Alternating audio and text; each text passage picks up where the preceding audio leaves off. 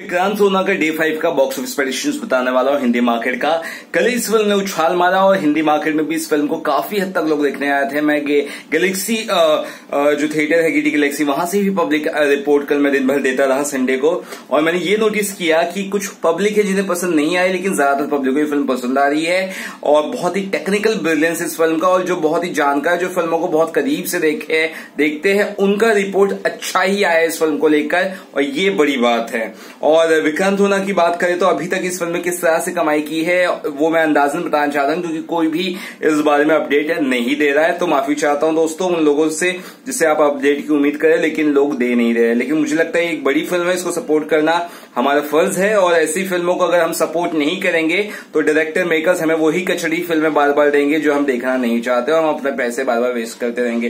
तो Vikrant Rona is worth for money let's talk about its box office collection estimate so far पहले दिन इसने कम से कम एक करोड़ के आसपास की कमाई की है, दूसरे ने अस्सी लाख के आसपास की, एट्टी लाख के आसपास की थर्ड डे सेवेंटी लाख के आसपास तक की कमाई फोर्थ डे फ़िल्म उठी है और फोर्थ डे इसका जो कलेक्शन है, मुझे ऐसा लगता है लगभग लगभग डेढ़ करोड़ तक गया है। जी हाँ मुझे लगता है फ्राइडे से आई मीन थर्सडे से संडे तक का ग्रोथ हुआ है और संडे तक कई सारे जो शोज़ थे, वो हाउसफुल थे और कई सारे शोज़ जो है वो 50 परसेंट के आसपास ऑक्यूपेंसी में फुल थे। तो संडे को इस फ़िल्म से फ़ायदा हुआ, ये फ़िल्म सेकेंड वीक भी चलेगी, विक्रांत दौरान, ये मैं आपको वापस से कह देना चाहता हूँ। और यहाँ पर ये फ़िल्म जो है, चार दिन में लगभग लगभग लमसम चार करोड़ से चार करोड़ बीस लाख के बीच में कमाई कर चुकी है फोर डेज़ संडे तक का फ़र्स्ट एक्सटेंडेड वीक तक का। डे फाइव जो है, आज मंडे फ़िल्म गिरेगी थोड़ा हिंदी मार्केट में, लेकिन फिर भी मुझे लगता है चालीस लाख से सत्तर लाख के बीच का मैं प्रेडिक्शन है।